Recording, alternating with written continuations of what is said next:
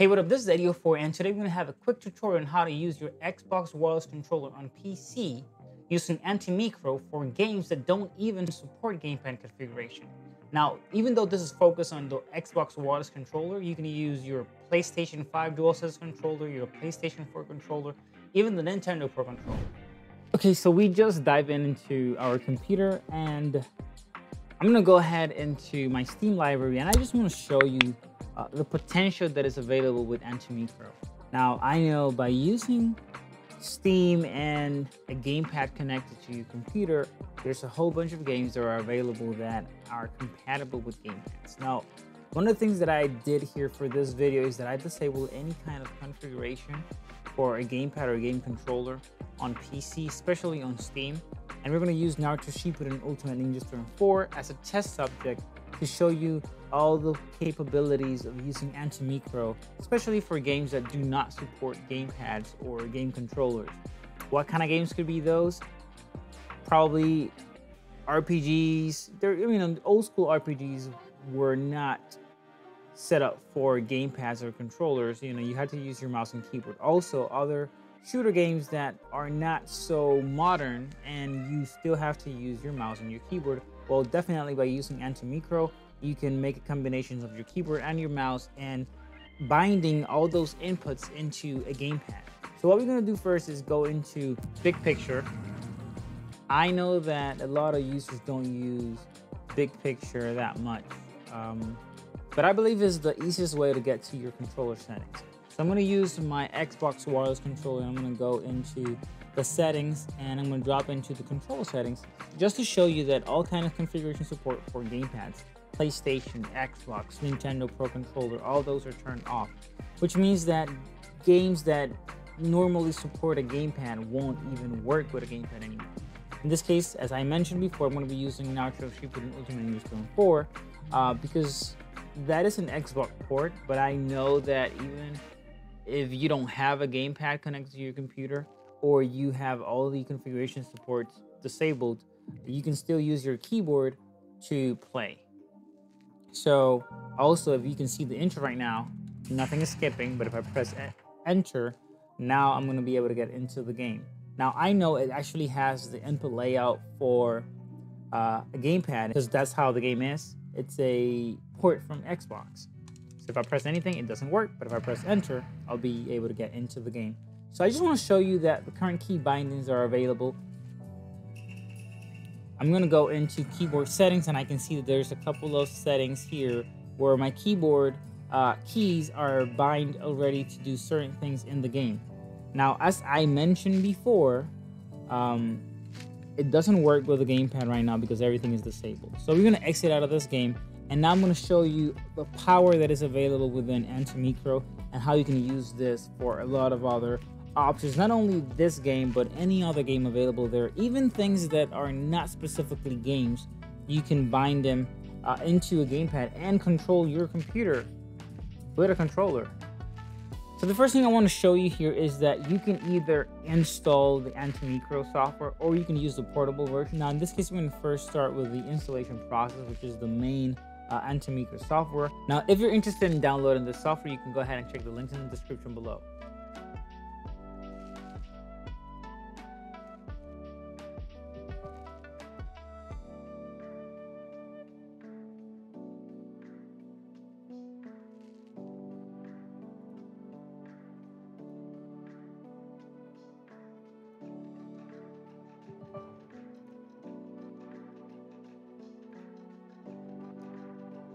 So as we load the Antimicro software, it is really straightforward. It already detects that I have a game controller connected to PC. In this case is the Xbox wireless controller. It doesn't really define all the names of the gamepads that are connected, but for me it's more than enough because it worked as expected. In this case, as soon as I uh, go ahead and move my gamepad buttons or press my buttons in my gamepad, I will see that it's going to be responding. And this is the beauty of using Antimicro. It automatically knows that you have a game controller there.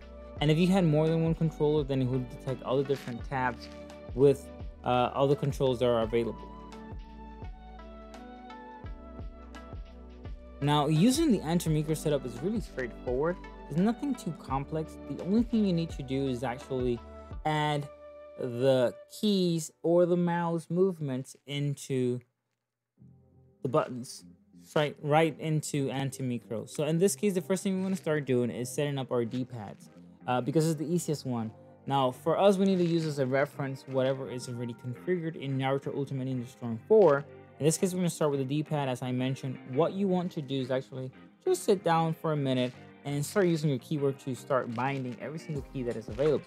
In this case, for your D-pad pressing up, you want to press up in your keyboard.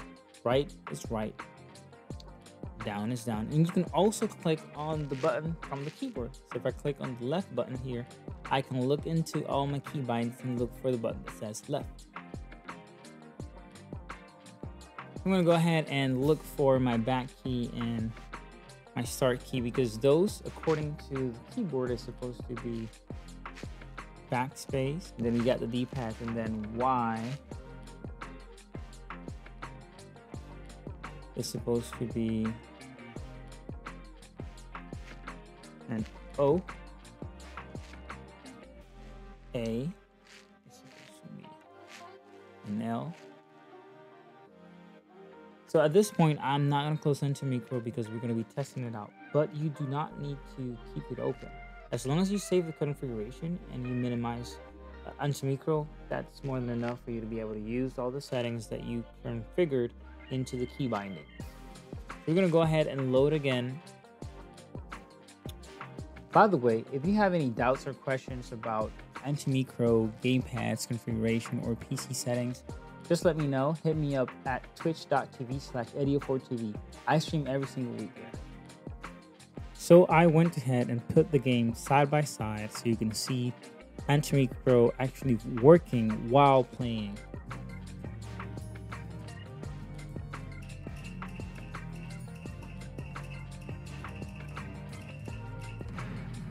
And as you know, we want to go ahead and test this out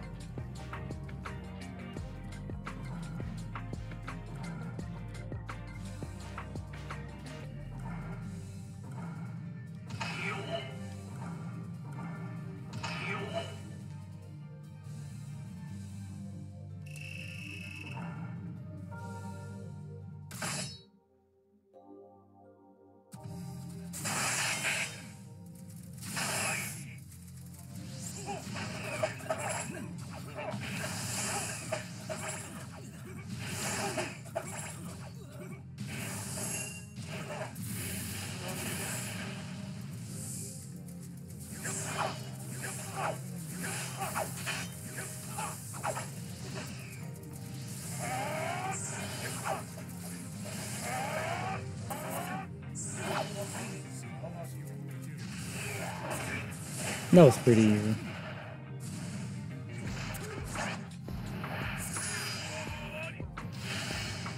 Okay, so now that we finished configuring and testing out the game, the last thing that I would recommend is actually saving the controller configuration for the future so you can have it there and you can actually switch between configurations whenever you want to if you're planning on playing a specific game. Now in this case, this is the same file that I'm going to be adding into the description. You can go ahead and download it in the link below.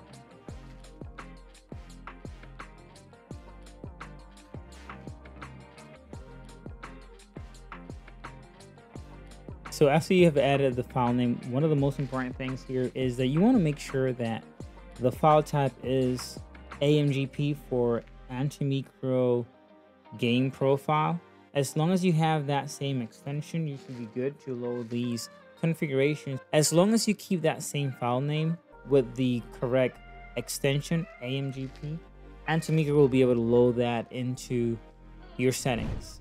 Now, the extra bonus is actually setting this up with the portable version, which, as I mentioned at the beginning, is exactly the same thing, just that it's actually zipped together and it has all the files that it needs to be able to run it. So in this case, what I'm going to do, I'm going to uninstall Antimicro. So I'm going to go ahead and close this out. Now, it's nowhere to be found. Now, the next thing is to actually extract the portable version of Antimicro. And I'm going to go ahead and extract it out just to show you that it's really straightforward if you want to use the portable version. The only thing that the portable version won't install in your computer. Open up the folder, and as you can see, I'll have all the files that I need for this to work properly. Now in this case, I'm going to right click and Antimicro, and I'm going to run it as an administrator. I always recommend running these software as an administrator because they have to be running in the background and the resources of your computer needs to be allocated to them.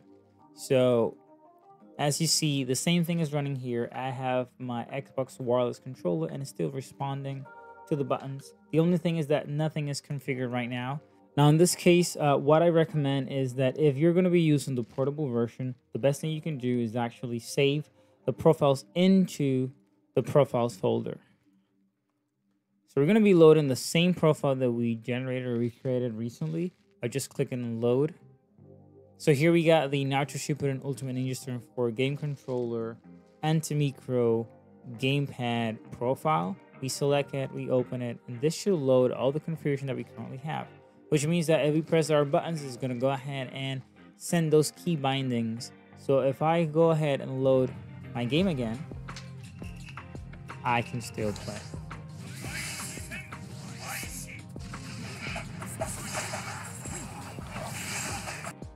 Hey, hope you liked the video. If you like this video, go ahead and smash that like button, subscribe to the channel, and don't forget to click on the notification bell so you can be notified whenever I release a brand new video. This was Eddy4. See you on the next one.